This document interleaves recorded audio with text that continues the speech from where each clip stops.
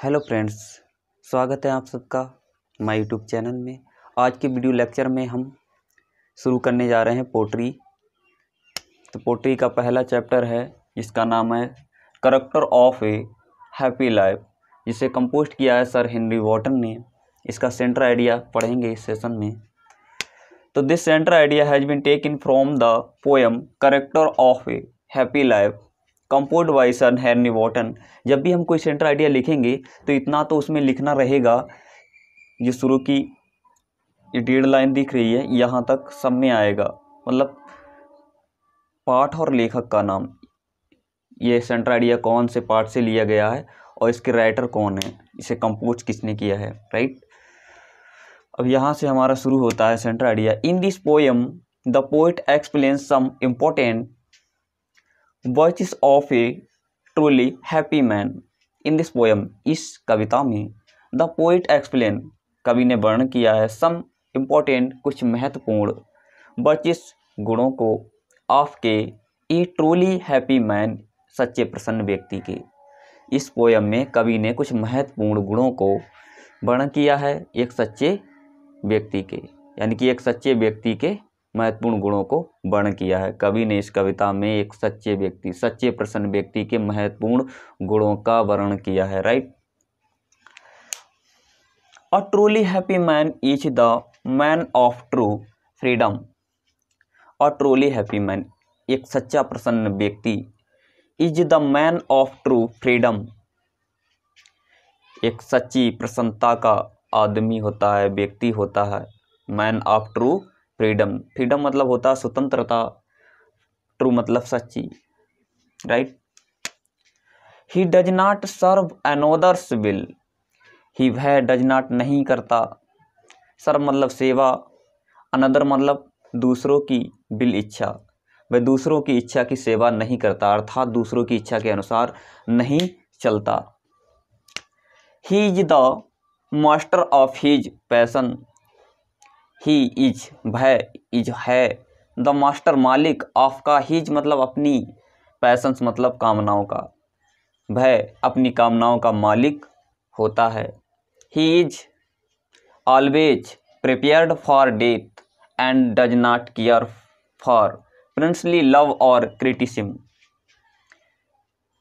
he is always prepared for death वह हमेशा तैयार रहता है मृत्यु के लिए।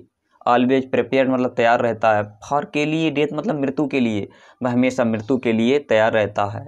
एंड डज नॉट केयर वह नहीं करता। फॉर प्रंसली लव और क्रिटिसिम राजसी प्रेम और आलोचनाओं की चिंता नहीं करता है।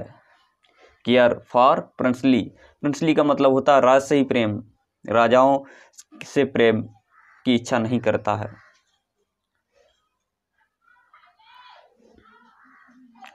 क्रिटिसियम ऑफ़ द पीपल यानी कि लोगों की आलोचनाओं की भी चिंता नहीं करता है और ऐसी प्रेम की भी चिंता नहीं करता है। He is free from rumour वह इज़ है फ्री मतलब आज़ाद या स्वतंत्र फ्रॉम द रूमर अफवाहों से। वह अफवाहों से आज़ाद होता है फ्री होता है। He is free from false flattery वह है फ्री मतलब आज़ाद फ्रॉम फॉल्स फ्लूटरी झूठी चापलूसी से आज़ाद होता है वह व्यक्ति, झूठी चापलूसी से मुक्त होता है। फ्री का मतलब मुक्त होना या आज़ाद होना। He is not jealous of every one's progress he is not jealous का मतलब होता है ईश्वालु ऑफ़ एवरी वन प्रोग्रेस वह किसी की भी उन्नति से इस वाले नहीं होता है, दुखी नहीं होता है। He is god fearing man वह इज़ माने है गॉड मतलब भगवान फेयरिंग मैन वह भगवान से डरने वाला होता है। And prays him day and night और उसकी दिन रात प्रार्थना करता है। He passes his time with the company of a good friend or a good why? Book. Sorry.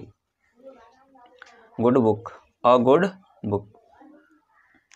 He pass मतलब व्यतीत करता है वह व्यतीत करता है पास करता है। हिज टाइम अपने समय को। With the company of a good friend एक अच्छे मित्र के साथ और ए गुड बुक एक अच्छी किताब के साथ। वह अपना समय एक अच्छे मित्र के साथ और एक अच्छी किताब के साथ व्यतीत करता है। He does not care for rise and fall in the life वह अपनी ज़िंदगी में उन्नति और अवनति की चिंता नहीं करता है। अल्थाउ ही हैज़ नथिंग यदि उसके पास कुछ नहीं होता है। He is lord of himself और वह खुद का मालिक होता है।